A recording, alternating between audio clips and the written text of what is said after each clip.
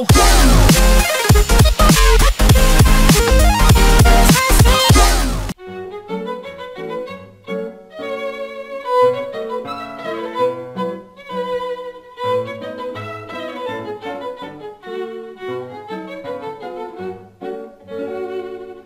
name is Endre Balogh, and I'm a concert violinist and have been performing all my life as a concert violinist.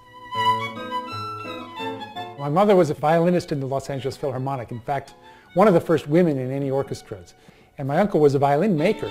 And my father met my mother because he needed some strings for his violin and he came to my uncle's shop and that's how they met. So then when I was 11 days old, I had my picture in the Los Angeles Times with a little tiny 64th size violin that they, sh they showed me, here's a new violinist is just born. I started playing when I was about three and a half. And then when I was four years old, I played nine concerts in public. First time I played with an orchestra, I was six years old. The first time I played as a soloist with the LA Philharmonic in a youth concert, I was eight. I've been the soloist with the Berlin Philharmonic and Rotterdam Symphony and of course the Los Angeles Philharmonic and Seattle and Washington, lots of different places.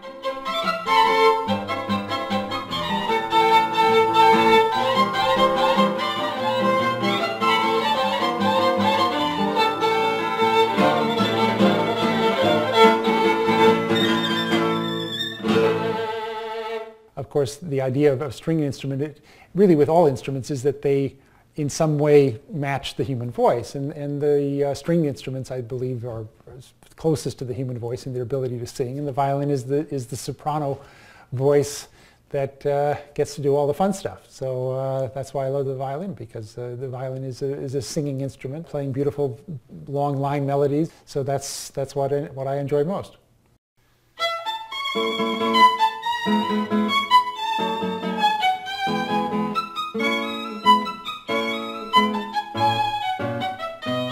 Playing the violin, of course, has a lot to do with muscle memory. You learn through scales, practicing slowly, where each finger will fall, and eventually your hand just conforms and your brain conforms to knowing exactly where every note is on the instrument. Unlike a guitar, there are no frets. It's difficult to find those spots, but you eventually learn to, find those spots completely. And measuring the distance from one note to another is, is, often a lot of what the practice is about. Is if there's a large jump or something, you have to you have to get it into your brain and into your hand, how far that that is, in order to make that interval sound in tune.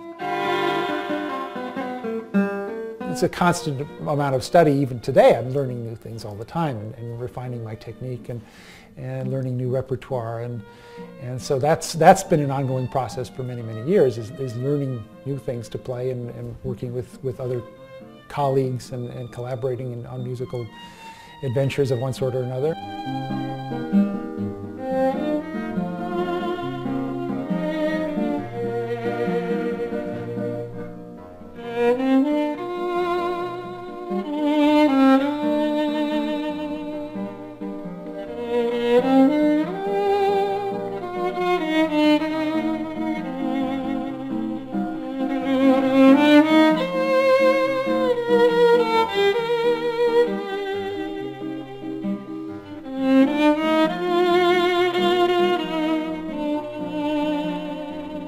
Was asked by the theater company A Noise Within, which is, was one of the preeminent theater companies in, in the United States.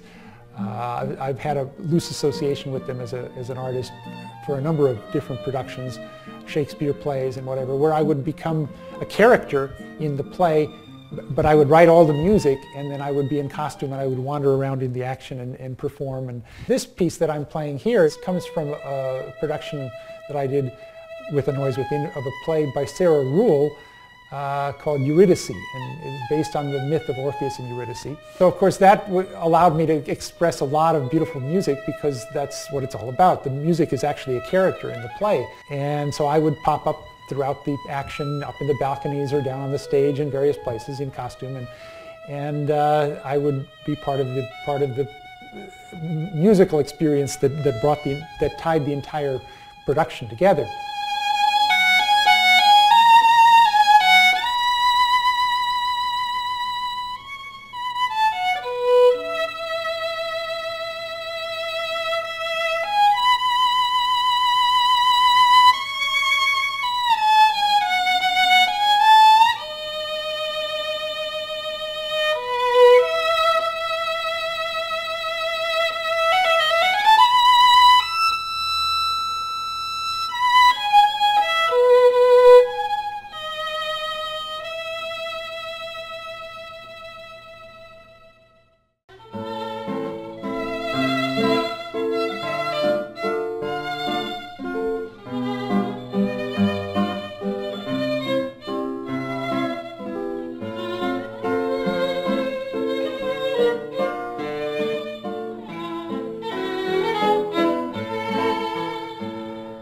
A great joy for me. It's a great blessing that I'm able to take this beautiful music that so many people have written, uh, recreate it, and bring joy to others by, by what they hear.